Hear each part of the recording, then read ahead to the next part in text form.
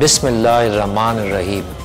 Sindh police کے افسران اور جوانوں کی طرف سے میں تمام پاکستانی عوام کو مبارکباد پیش کرتا ہوں۔ پاکستان ریزولوشن ڈے کے کانٹیکس میں اس دن کے حوالے سے ہم وہ تمام کام بھرپور طریقے سے اپنے دل سے کریں گے، جس سے ہمارے ملک میں خوشحالی آئے، ترقی ہو۔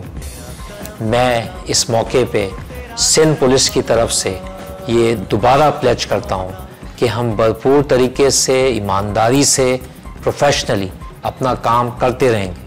اور ہمارے تمام کام کا بنیادی آبجیکٹو صرف یہ ہوگا کہ ہم اچھی سروس ڈیلیوری کر سکیں، اپنے لوگوں کے کام آ سکیں۔ اللہ تعالی ہمارا حامی و ناصر ہو، ہمیں اپنے مقصد میں کامیاب کرے۔ سندھ پولیس زندہ باد پاکستان پائند آباد۔ مجھ پہ ہے۔ اے وطن جانو دل جانو دل بھی بتا پاکستان کو جنت دے بنا۔